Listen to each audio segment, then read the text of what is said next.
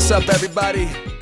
Hey everybody, Erica Serwin here from Pink Buckaroo Designs. I've got a really fun card for you today. It features the new Filled with Fun bundle that is coming out on March 5th, 2024. It's an online exclusive. You won't find it in any of the catalogs. I love it. We have a whole slew of products coming out, but this one is my favorite. Um, I found these cute little tiny sewing kits. You can get like a ton of them on Amazon. I'll have them linked for you. Um, and I knew I wanted to do something with it. And so when I saw the wagon, I thought, I've been thinking of all the things you could put in the wagon, and I thought these would be per a perfect fit. So then I knew I had to come up with a fun saying as well. We're going to use the new mini alphabet uh, die set to make the uh, sew part. And the sentiment, you are amazing, is actually from Kiddin' Around. And it's this one right here. We're going to stamp it separately so we can put in there, you are so amazing. Okay, let's get started. Um, the first thing we're going to do is our stamping. And as you can see, we've got a lot of flowers back there. This stamp set has two different things you can put in your wagon. You have flowers and you have like a little birthday scene. Um, I have actually been playing around with my stamps and putting all kinds of things in my wagon. Um, this time though, however, because we're putting our little sewing kit in there, um, we're going to stamp the flowers to be the background behind our wagon. You're to need four sets of these flowers. They're pretty easy to color, so don't worry too much about that. And I've actually done most of this ahead of time, so you won't have to watch me color all of them or cut all of them out. We'll just do one. Um, the other thing you need to stamp, there's two other things. We've got this uh, banner, and we're to stamp it in Fresh Freesia. These colors for my card actually came from Stampin' Up's uh, Creative Challenge. Each month they've got, um, they're doing a color challenge and this month's there were two different ones and I, I loved them both, but I decided to use this one. Uh, we're gonna use Highland Heather, Fresh Freesia, uh, Parakeet Party, and Tahitian Tide. Okay, so that's the handle for your wagon. Now, I'm just to stick sticking with my color scheme. I have uh, Fresh Freesia markers. Uh, these are Stampin' Blend markers. And I'm going to use the dark Fresh Freesia to color just the insides of our cute little flowers here. That's it. It's very fast. Then I'm going to take my light Parakeet Party and I'm going to color in all the stems and leaves to go with our um, flowers. Now you could just leave it like this. I mean, really, there's no reason why you couldn't, but I'm gonna take the dark and just on the leaves color just half of the leaf, a darker color, just to give it a little bit of interest.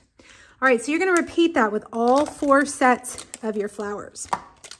So we're gonna cut these out and I am actually going to use some post-it tape to put these on so that they don't bounce around while I run them through my cut and emboss machine.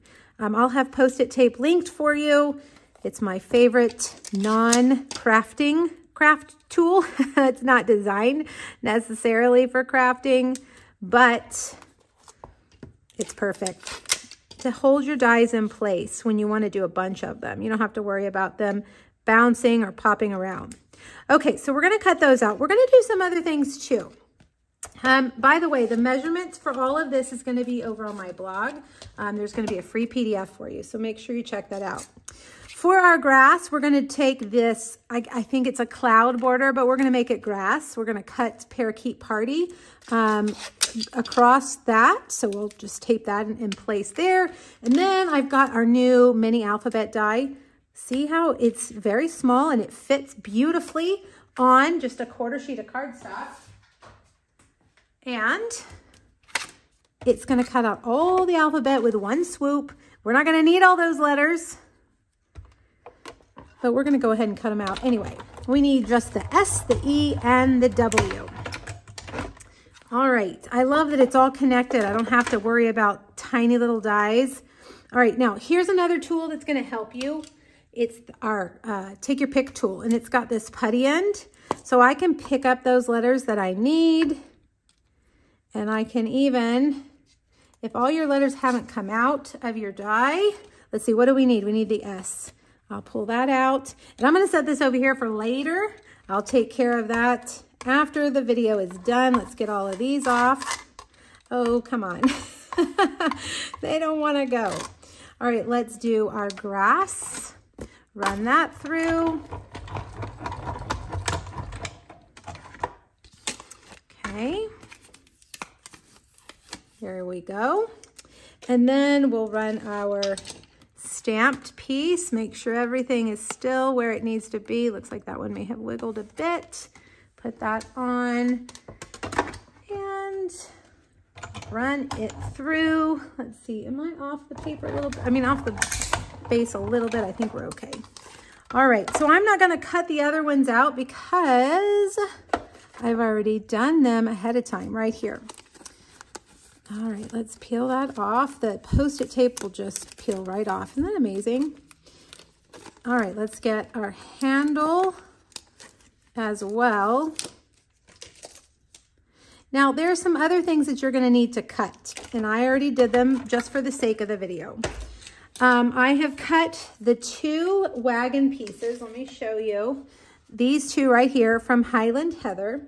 And I'm gonna take these, this is um, our foam adhesive strips. I think they're perfect for this wagon because you can just put one right there. I like to put it on the bottom so that we'll have room to tuck our, our sewing kit in. Let's see, let me get it centered a little bit better. Like that, okay? Um, you're also gonna want to cut out a fresh Freesia envelope. Now this envelope is from the Sending Love bundle. I did a whole Facebook Friday on the Sending Love bundle uh, back in January. It's a really cute mailbox set. So grab that and cut out a fresh Freesia envelope. We're gonna fold that in half. Oh, I've just made a mess with my glue. Now, one thing you can do to hold that is to get a little clothespin and it'll hold it down while that's drying in place, okay? And then you're gonna need two tires, basic black. You're gonna need two hubcaps that are smoky slate, and those are right here, hubcaps and tires. All right, now those are all the pieces we need for our wagon. We're gonna do one more thing with our cut and emboss machine. We're gonna emboss. This is one of the basics embossing folders. We're gonna take off plates two and three. All you need is plate one and the gray plate, plate four. Now I'm gonna take a piece of this gorgeous Tahitian Tide and I'm gonna lay it down, put plate four on top, and run it through. And there we go. Isn't that fun? I love, this is probably my favorite embossing folder. I tend to use it a lot. Okay, so let's start. The first thing that we're gonna do is put our grass down. And we will do that with some Stampin' Seal. Um, you wanna leave a little bit of room there so we can tuck those flowers in behind. All right, so we've got that. And then we'll adhere our flowers. We're gonna do two behind the grass, like one there, and then we'll do one. And I'm gonna leave them kind of up a little bit because you'll still be able to see these behind our wagon. Let's, there's the third one. And here's our fourth one. I wanted them a, a little bit higher so that you could see them behind the wagon. All right, now let's take our wagon and some dimensionals. And we're gonna put these, whoa, flew across the desk. Put these right here, leave room for your wheels down there. Okay, and then we will Put a little dot of glue there and a dot of glue there. Grab our basic black tires, slide them under so they look like they're connected. And then a little dot there, a little dot there, and use your take your pick tool to pick these up like that. Let's see, let me turn that over to the right side. There we go. Now the little Fresh Freesia banner. I think the banner is so cute. I have harder, had a hard time making wagons without using the banner. It's just really fun. Okay, we're gonna put that right there. Now the handle to pull the wagon right there and we'll adhere that coming out from behind our wagon like that. Okay, now I think our envelope is dry. Let's get our little sewing kit. Where did my sewing kit go? Well, good thing I've got about a hundred of them in here. I'm gonna put that in here like this. And I don't want it to be permanently adhered to the envelope, but I also don't want it to fall out. So I'm gonna take a glue dot. I'm gonna take a glue dot, if it'll behave.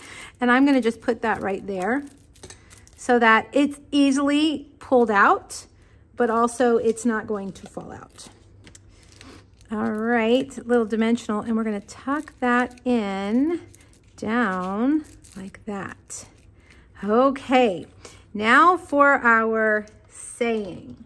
I've got a strip of basic white, and we're gonna have to do some masking on our stamp. You are, we're gonna do that part first. Make sure you've got everything else covered up. And then we're gonna use my Highland Heather ink pad. wanna ink that up and then take the tape off.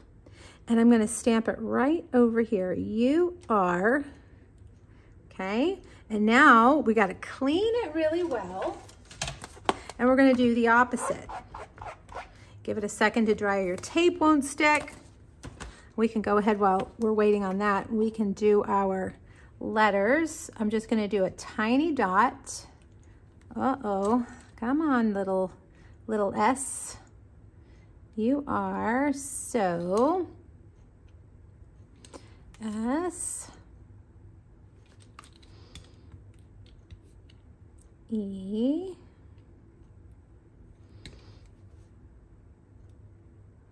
W. You are so. All right, now we'll take the tape and tape off the U and the R. And you wanna make sure that you get all of it. Okay, but you also wanna ink, be able to ink that little dot right there for the I. All right, so stamp, stamp, stamp, take that off, and then we'll stamp it right there. You are amazing. I'm a little bit over to the left, but I think it's all right. All right, now, let's get some dimensionals. And we'll put this across the top. You are so amazing. Everything needs to be shifted a little bit to the left. But you know what? It's all right because we've got a card base here that we're gonna put this on. Some more dimensionals. And that, it looks like the cardstock is hanging off, right? But it's exactly four and a fourth inches long, so it'll be perfect. We may have to shift it over a bit. Nope, I think it's perfect. See how it matches those edges right there? And last but not least, let's add a bow. All right, black and white gingham. Get my good scissors, snip, and a glue dot. And, oh well, goodness. Glue dots are giving me trouble today. There we go. And we're gonna put that right there. Now for the inside, I'm gonna take that same banner and just stamp that across one corner and we'll put this on the inside of our card. And there you go. Just a fun treat for a friend. Cheer somebody up. Lots of reasons you could give this card. All right, I have two other uh, filled with fun projects for you on today's blog post. I also have several bonus projects with other things in the wagon, including the stamp set that we just used, Kidding Around. So if you want to see that, come back and check back for that one later as well. All right, you guys, have fun stamping. Thanks. Bye-bye.